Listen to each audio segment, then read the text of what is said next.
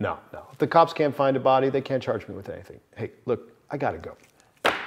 Hey, I'm Corey, and this week we're making salsas. Now, I know that everybody's very comfortable with their default salsa of chopped tomatoes, onions, cilantro, chili, and there's nothing wrong with that, pico de gallo. But today we're going to expand our salsa repertoire. Look at this. Half this book is just salsa recipes. Today we're gonna make roasted tomato salsa, roasted tomatillo salsa, and an ancho salsa, which is gonna be more of a sauce. For the first two, I'm popping the tomatoes and tomatillos, peeling the tomatillos first, coring both of them. The recipe I got these from said to de-seed the serranos, and here's what that looks like. But here's why I'm not doing it now, actually, because I want it to be spicier.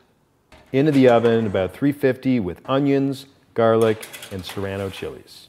Meanwhile, I'm gonna get a pot going with my dried anchos garlic, onion, vinegar, and orange juice, and I may as well juice some fresh oranges. This is for the ancho salsa. Oops. I think I was supposed to put some water in there. That's better.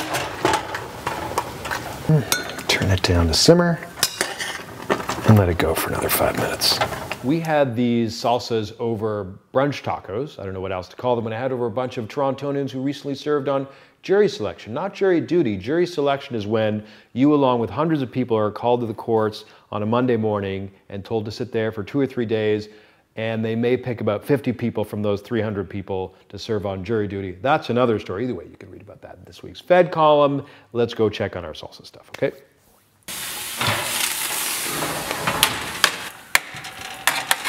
So roasted is loose. It's really more toasted. They're just in there 15 minutes, but they get a little color, they get a little soft, and I think they lose a little bit of that raw bite. When the roasting vegetables have softened and gotten some color, a little bit of color on them, let them cool for a spell, being folksy, and then into the food processor. Okay, one at a time, and just pulse them. You don't want them to turn to liquid. You want the salsa to be a little chunky, not soupy. So first the tomato I'm gonna do, and then the uh, tomatillo, and I'm gonna season them to taste and fold in cilantro at the end. Then, now that our ancho mix is done bubbling away and it's cooled for a bit, I'm gonna put this into the blender with olive oil because we want this one to be super smooth. And again, season a bit with salt.